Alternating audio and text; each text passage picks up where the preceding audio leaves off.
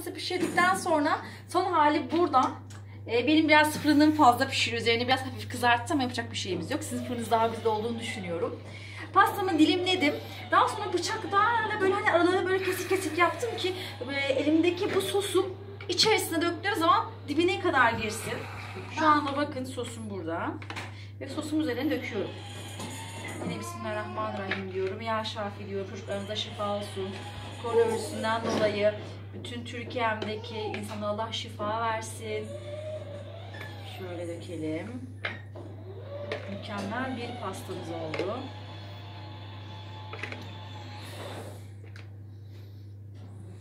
Çocuklarımıza afiyetle yedireceğimiz şifa dolu şeker pancarıyla yaptığım güzel bir pasta. Pasta aynı zamanda döktüğüm anda kıvamı içine çekiyor.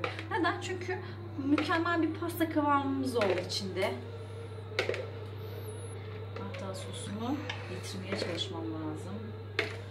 Şöyle. Çok güzel bir renk aldı. Sayın kameramanım biraz yaklaşabilir miyiz? Daha yakından bir çekeyim istiyorum sizden. Bu arada eşime sevgiler. Bana her şekilde yardımcı olduğu için.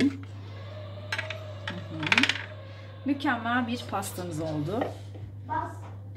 Bu şu anda e, pasta içine kadar emmesi gerekiyor. Pastamız şöyle göstereyim size ışık altında. Kırmızı bir şekilde, e, şekilde e, şeker pancarıyla yapmış olduğum bir pasta. Bol vitaminli, tadı mükemmel. Bunu ilk kez yapmıyorum. Daha önce de yaptım.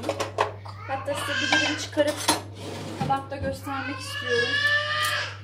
Ee, abisi kardeşinin yanına gider misin anneciğim rica etsek? Benim aklıma asrar konuştu.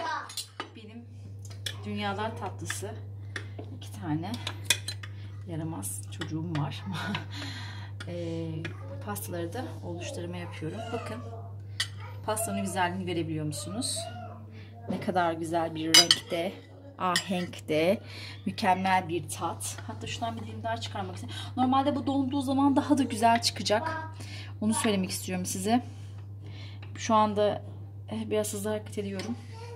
Çünkü pastanın şeklini görebiliyor muyuz? Nasıl?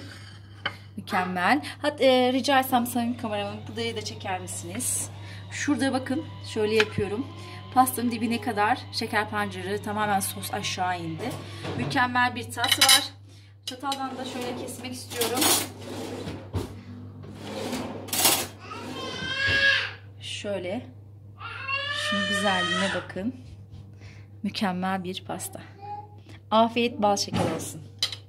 Hepinizi çok seviyorum. İnşallah siz de bu pastayı yaparsınız.